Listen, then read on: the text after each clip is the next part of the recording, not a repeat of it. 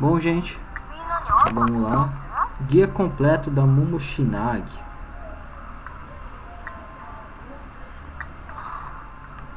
Bom, Momoshinagi é uma Taimanin verde humana, tá?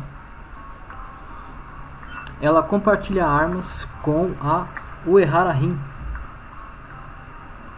Então é muito fácil de você é, ter equipes para ela, porque você pode usar armas de arena ou armas que você já usa na sua Uehara Rin, caso você já tenha.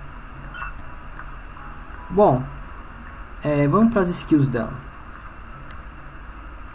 Primeira skill, tá? Ela quebra o padrão das outras Taimanins, onde a primeira skill é aquela que você joga o inimigo para cima, dá um combo no ar e joga o inimigo para baixo depois. Bom, a primeira skill dela é uma skill de build vermelha, tá? Build que eu falo é quando você usa a mesma cor das suportes, três suportes de cor vermelha para ativar os três bônus da skill, tá? Mas que o que você carrega, ela tem um ataque que pega uma área grande, ela stuna o inimigo, ela dá um ataque adicional no final da skill e tem um critic rate de 50%, ou seja, sempre vai critar essa skill. Temos a Moonshade, tá? O bônus dela depende da suporte principal que você está usando. Se tiver só suporte principal verde, ela reduz a velocidade do inimigo em 10%. Se a sua suporte principal for azul, ela cria um cone adicional. Se a sua suporte principal for vermelha, ela aumenta o dano em 10% por 10 segundos, tá? É uma skill, é uma, é uma skill de é, avanço, tá? Ela avança no inimigo, dando um dano nele. Bom, temos essa outra skill. É, ela é uma skill onde você esquiva para trás e ela se move rapidamente para cima do inimigo, tá? Dá para você usar é, três suportes de cores diferentes. Se você usar uma suporte verde, uma suporte azul, uma suporte vermelha, você ativa os três bônus da skill, tá? É, ela reduz a defesa do inimigo em 10% por 10 segundos. Ela reduz o tempo de espera da skill em 20% e ela aumenta o dano da skill em 25%. Bom, essa é a skill dela, onde se você tiver três suportes, independente da cor, ativa todos os bônus, tá? Essa skill, ela vai atacando o inimigo e vai aparecendo outras clones dela de sombras, clone das sombras dela, atacando o inimigo também. Então, ou seja, é muito dano. Não só ela ataca, como as clones das sombras dela também vão atacando ela. Tá? Ela tem um aumento total de 30% de é, velocidade de ataque com é, essa skill, tá? E ela recupera a, reca a, recarga, a recuperação daquelas esferas de especial aumenta em 50%. Bom, a build verde dela, tá? ela reduz a defesa do inimigo em 10% por 10 segundos, adiciona mais 5 ataques adicionais e aumenta o dano da em 150% a mais, tá?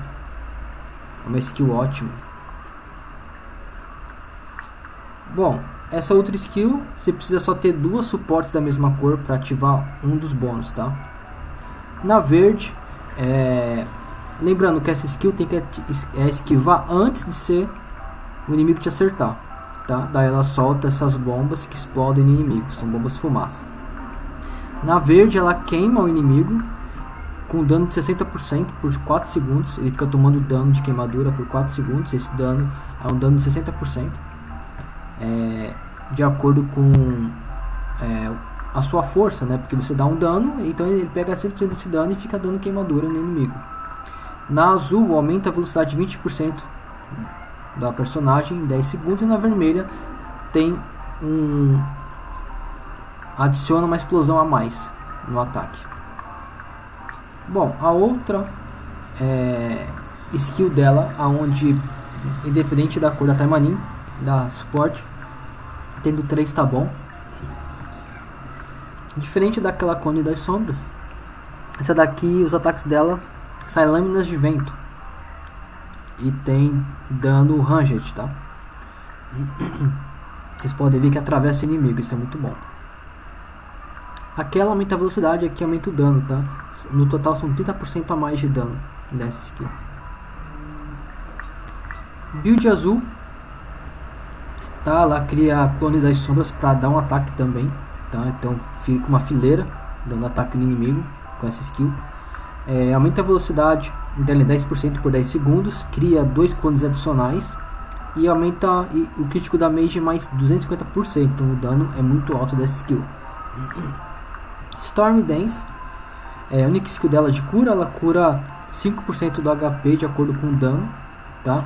Aqui é build, precisa, precisa ter três suportes da mesma cor para ativar. Se você tiver três suportes, três suportes verdes, aumenta sua defesa em 30% por 10 segundos. Três suportes azuis, aumenta seu dano em 30% por 10 segundos. Ou três suportes vermelhos, aumenta a área do ataque mais 50%. Ou seja, é, é, esse, essa explosão aumenta o raio de acerto. Isso é muito bom. E a habilidade desperta dela, level 81. É uma habilidade que depois que ela é atingida, ela contra-ataca o inimigo, soltando é, uma skill indo para trás. Isso é muito bom porque ela, além de contra-atacar, ela, ela também vai para trás, pegando mais distância para poder é, não sofrer outro dano. Tá? Depende de ter duas suportes da mesma cor para ativar o bônus dessa skill. Tá? Se for verde, ela causa envenenamento e o dano é 60% por 6 segundos. Então o inimigo fica envenenado tomando dano em 6 segundos. Tá? Ah, na azul, ela deixa o inimigo grog. Na vermelha, aumenta o dano em 20% por 10 segundos da Taimani, tá bom? Da Momoshinagi. Bom, geralmente a build dela usada é a build vermelha, tá? A build vermelha dela é muito forte. Tá, essa skill dela é bem forte, tá? A galera, mas a galera usa Cara, não tem a build certa. Não, eu não vejo muita gente usando azul. Vejo mais usando vermelha e verde, tá? A galera usa bastante essa, só que tá usando mais essa daqui porque ela atravessa o inimigo e pega os inimigos atrás. Então é boa no PvE quando tiver muitos inimigos em volta, tá? Só que o dano é ranged. Então é bom para quem tem uma conta mais é, híbrida. Uh, suporte que estou usando nela são suportes que vão favorecer é, tamarins do tipo humana, tá? Ou do tipo vermelha. No caso aqui, Suppress Tip, tá vendo? Tipo vermelha, ganha dano e tem redução de dano recebido. Aqui no caso, é, tamarins do tipo humana, tá vendo? Aumenta o dano. E reduz o dano recebido dos inimigos também. E aqui é muito boa porque ela aumenta o dano em 6% por cada inimigo perto. Então, cada inimigo que estiver perto aumenta 6% de dano por cada um. Se tiver 10 inimigos, é 6% a mais de cada um, tá? Então são 10 vezes 6.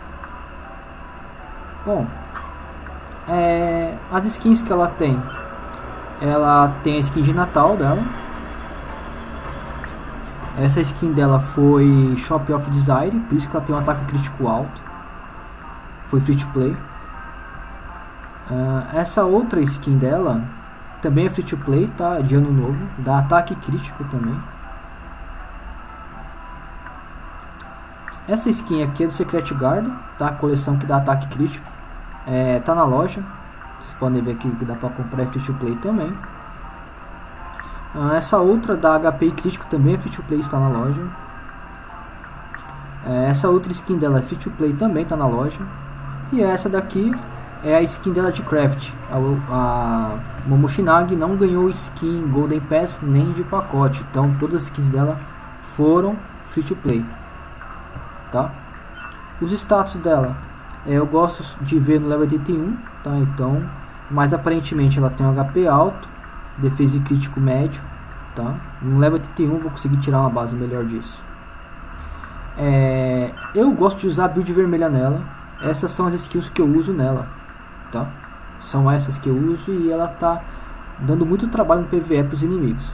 Tô tendo bom resultado com ela, tá bom? Como que você monta uma build? Montar build é quando você é, é, monta as suportes que vão favorecer a sua Taimanin pelo tipo de vermelha ou tipo humano, tá? Ou de ataque melee ou ataque ranged, você vai montar que vão combinar com as skills. Aqui tem skills de ranged, eu posso montar uma build ranged, colocar aqui suportes que vão dar aumentar o dano de ataques ranged, tá? Aí você monta uma build, tá? Geralmente é, a gente usa sempre a mesma cor, porque maximiza mais o bônus dos ataques das skills mais fortes dela, tá? Então essa é a build que eu estou usando, com essas suportes, todas as suportes adquiridas de forma free to play, tá? Essa daqui foi dada gratuitamente no evento, e essas daqui vieram no gacha normal que a gente faz aquelas fichas gratuitas que a gente ganha. Bom gente, é isso, tá? Até o próximo vídeo aí, tchau!